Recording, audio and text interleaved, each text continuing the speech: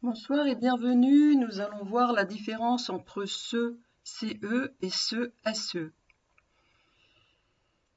Il faut écrire ce CE devant le nom et ce SE ou S devant le verbe. Il y a quelquefois un adjectif qualificatif entre ce CE et le nom.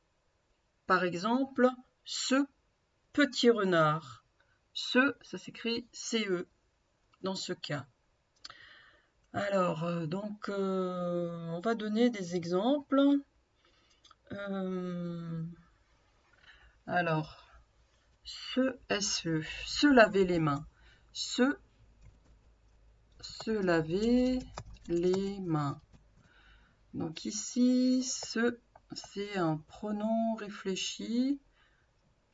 Se laver les mains. Euh, est-ce que c'est un pronom réfléchi?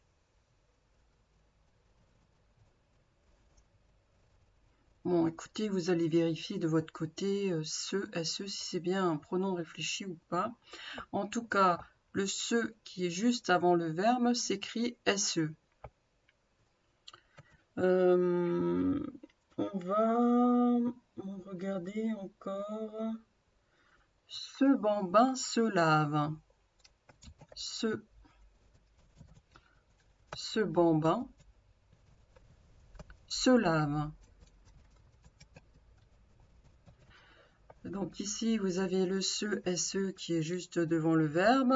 Ce, CE. Vous pouvez aussi dire celui-là, vous le montrez du doigt. Ce bambin se lave.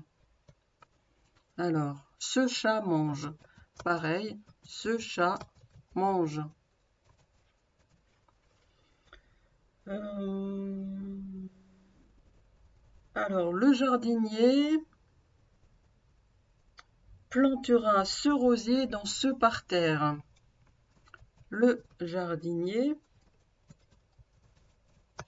plantera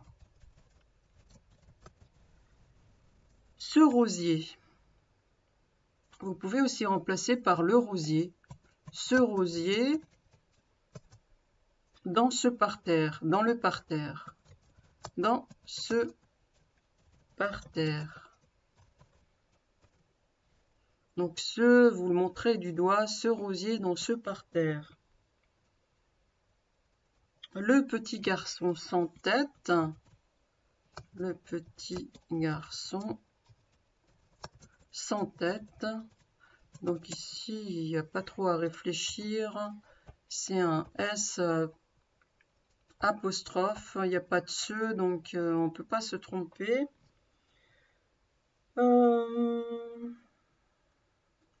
Qu'est-ce que je peux encore dire? La fumée s'élève dans le ciel. Donc là, il n'y a pas de ce non plus. Il y a un S apostrophe.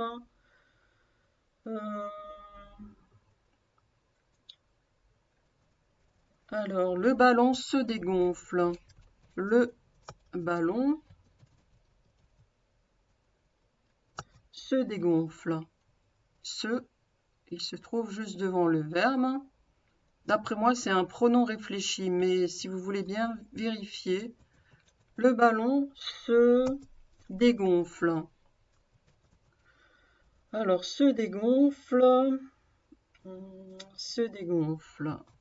Voilà.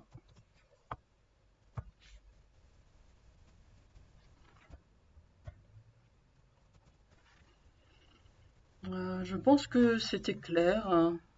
Je pense que vous devez avoir compris. À bientôt